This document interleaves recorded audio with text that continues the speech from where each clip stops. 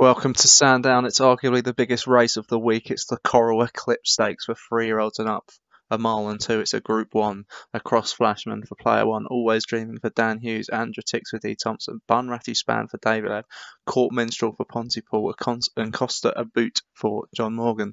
Ocean Town for Vinnie Gerard. Masovian for D Thompson. Dancing Goddess and Endless Nights for Leon Van Rensburg, Lilypool for Paul O'Neill, American Pharaoh, Dan King, Battlestar for Tam King, um, Dante's Inferno for Joshua Sutherland, Dove Cottage for Alex Cherry, Hannah Elder for Vinnie Gerard, Torzia Ings for Hem, The Collector for Mark Jones, Zero Tolerance for Paul Rhodes, Brief Alacaba for John, Cruise on By for C. Beckwith, Joan Jet for Paul Rhodes, Mist Archangel for Satyam, Quantity Surveyor for Hems, Thornton Quid for David O, Free Wishes for Alex Cherry, and Warm Embrace for Dan French. 27 in the Coral Eclipse. Huge race here. Three year olds take on the four year olds for the first time over the classic distance of 10 furlongs, and they're off and Dancing Goddess has got a shocker of a draw, but hits the front trying to get across early. Masovian, the well fancied Darren Thompson favourite, is also up there following his Royal Ascot win. I think there's a maiden as well at the time. But Masovian and Dancing Goddess are out at the front. There's a John Morgan horse there lurking in the wings. It's Brief Alacaba. Warm, entry, Warm Embrace is also up there. Mist Archangel for Satyam. Then you've got Quantity Surveyor. Trapped out wide is Battlestar, who looks to have also kept another one trapped out wide, but I'm not sure which one that is. It could be Torzia Ings, I'm not sure. Um, but it is still Dancing Goddess and Masovian as they come down to the halfway point here at Sandown Coral Eclipse, and it is Dancing Goddess I'm not sure why she hasn't pulled over to the rail yet. She's costing herself some ground here as they come around the big sweeping bend at Sandown shortly.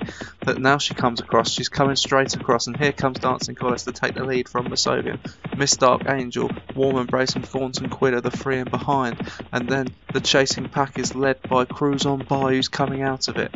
But it is still Dancing Goddess as they come down and round the bend towards the big Sandown hill. And Dancing Goddess is to make a real race of this. We're looking for Endless Nights, the joint favourite, who's also trying to get through the gaps now at the back, but going to struggle to get through a wall there as Dancing Goddess kicks for home. Dancing Goddess is kicked for home from Thornton Quid, Brief Alacaba, the collector on the outside. Bunratty spans towards the ends on the outside as well, on the inside cruise on by. Dancing Goddess is relentlessly pounding on the Sandown hill and still continues to go and clear, but Thornton Quid is pushing for David Thornton Quid, Brief Alacaba, Masovian's going to try and fight back. It's Thornton who takes it off from Endless Nights in the Eclipse. They're flying home. Look at Masovian. Masovian weaving through for Thornton Quid. Masovian on the rail.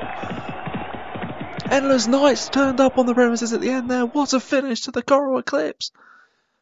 I don't know if Thornton held on. Masovian was cruising through Endless Nights was turning up as well. Masovian, the six to four favourite on the rail in a barnstormer of an eclipse takes it from Thornton Quid. What a race! Endless Nights absolutely carved through the crowd as well, but was caught short in the wall. But Masovian, the 6 to 4 favourite for Darren Thompson, follows up from Ascot. Thornton Quid, your second. Very unlucky. I don't know what Andrew Mullen was doing on the line. Endless Nights flew through to come down the outside for third in an absolute classic rendition of the Coral Eclipse.